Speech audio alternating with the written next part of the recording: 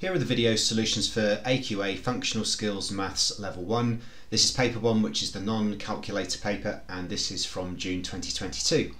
So let's take a look at question 1. So the question says circle the value of 8 to the power of 2, 8 squared. So what that means is 8 multiplied by 8 and 8 times 8 is 64 which is the first answer.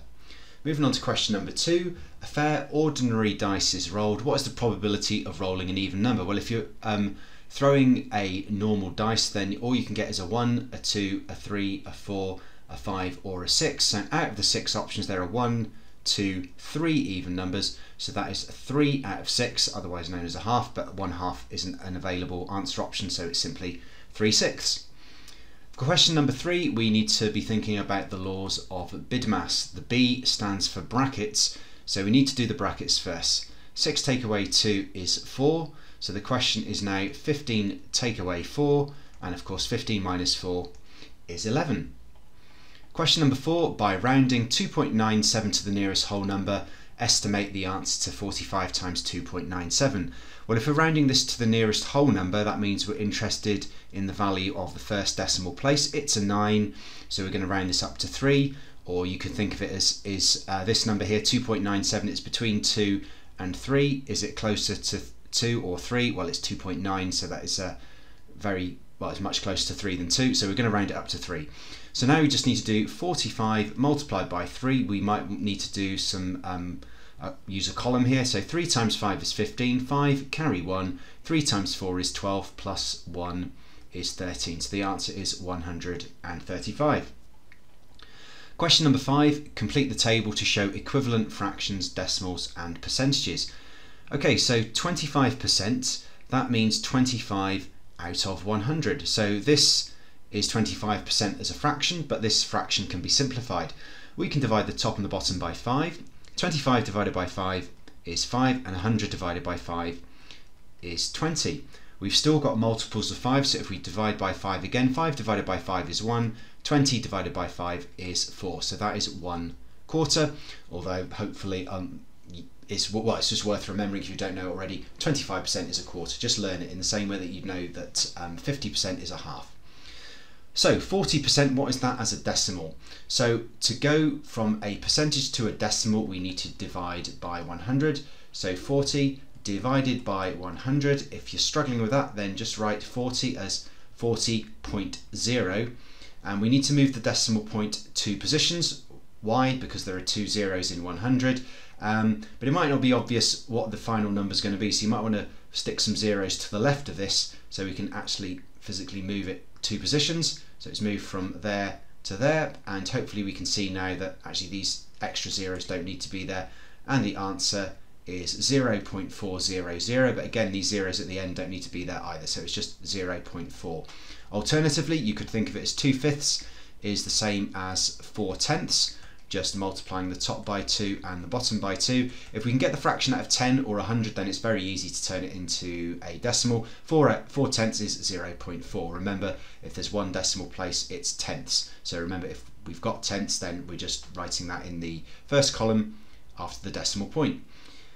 Now if we're dividing by 100 to go from the percentage to the decimal we're multiplying by 100 to go from the decimal to the percentage or you could see 3 out of 10, this is probably easier, is the same as now percent means out of 100 so 3 out of 10 is the same as what out of 100 well to go from a 10 to 100 we're multiplying by 10 so let's multiply the top by 10 3 times 10 is 30 so we've got 30 out of 100 so that is therefore 30%. As I said alternatively you could multiply 0.3 by 100 and that will also get you 30%. Okay, so on to question six, section B. So the key thing here is that the scale one centimetre represents 0.5 metres. What that means also is that two centimetres equals uh, one metre. So here we've got one metre, two metres, three metres, four metres, and half a metre. So in total, that is 4.5 metres in real life. And the question, is it more than 4 meters? Well, we can say yes, because 4.5 is greater than 4.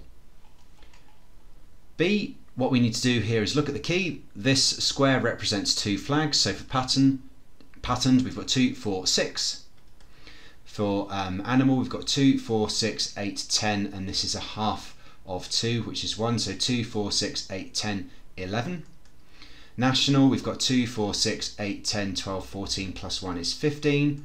And for plain, we've got 2, 4. So what we need to do is work out the total. So the total is 6 plus 4 plus 11 plus 15. 6 plus 4 is 10, 15, 16, carry 1, 1, 2, 3. So the total is 36. So how many are national flags? Well, national flags, that is 15 out of 36. Now, if there are, um, we want to work out what one third of the total flags is. So one third of 36, uh, that is the same as 36 divided by 3, which is 12.